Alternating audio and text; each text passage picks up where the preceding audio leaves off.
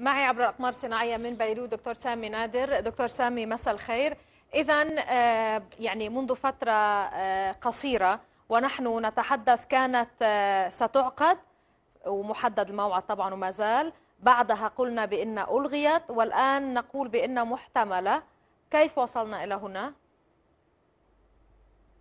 تقلبات كثيرة يعني في هذا الملف وهنالك تحسين للمواقع التفاوضية. هذا بالتأكيد. ثانيا هنالك مسار لبناء الثقة التي كانت مفقودة بين واشنطن وبيونغ ومن ال يعني المحتمل أن تكون أن نرى مثل هكذا تقلبات.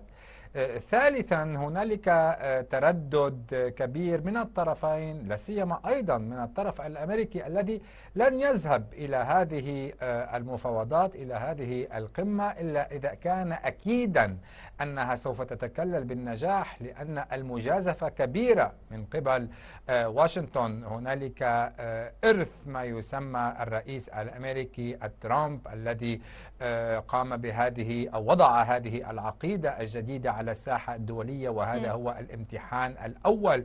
وهذا قد يكون أيضا الإنجاز الأهم الذي سوف ينعكس على سائر الملفات. لن يذهب ترامب إلى قمة إلا إذا كانت مضمونة النتائج. ومن هنا واشنطن كيف سيضمن بأنه ستكون؟ تفكيك كامل وناجز.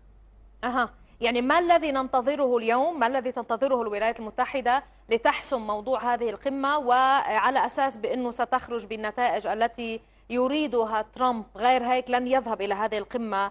أعلنوا هذا وكما قلت حضرتك دكتور سامي.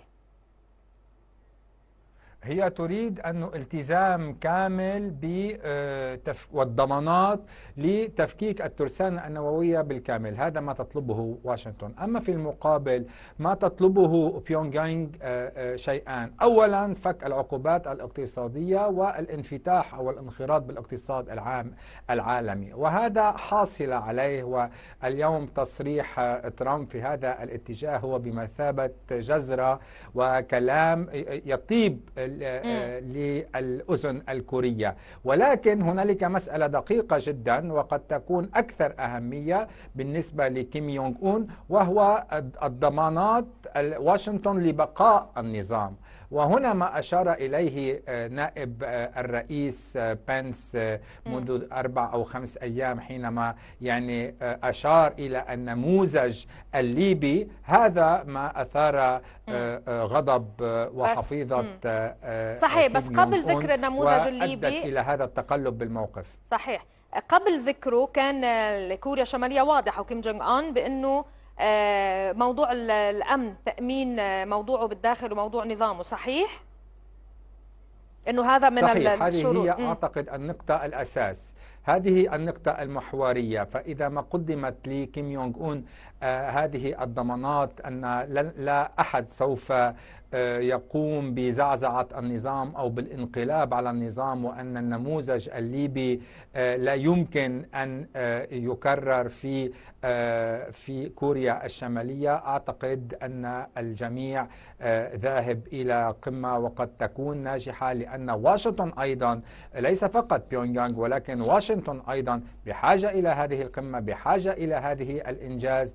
للقفز فوق المشاكل الداخلية أولا وثانيا لاستثمار على على الساحة الدولية لأن هذا الملف إذا ما كلل بالنجاح سوف ينعكس على ملفات أخرى سوف يكرس عقيدة ترامب في السياسة الدفاعية وفي السياسة الخارجية وفي مقاربة الملفات النووية وعلى رأسها الملف الإيراني. اذا ما يجري في بيونغ يانغ لن يبقى في بيونغ يانغ إنما سوف تكون لديه تداعياته على كافة الملفات على المستوى الدولي. لماذا ركز ما الرسالة التي أرادها ترامب عندما ركز على اقتصاد كوريا الشمالية وبأنه لديها إمكانات رائعة وما إلى ذلك؟ فقط لأنه لأنه يعرف تماما. سينتعش بعد رفع العقوبات؟ تفضل. لأنه يعرف تماما ما كوريا الشمالية بحاجة إليه لأنه صغى تماما عند أول خطاب قال قاله كيم يونغ أون متوجها إلى جماهيره حينما وعدهم بيوم أفضل وبمستقبل ظاهر وعاد واعتذر عن هذا الوعد العام الماضي. إذا واشنطن تدرك تماما أن الأولوية بالنسبة لكوريا الشمالية هي رفع العقوبات الاقتصادية والدخول في مسار تنمية اقتصادية يؤمن استمرارية النظام ولكنها أيضا تريد الضمانات نعم.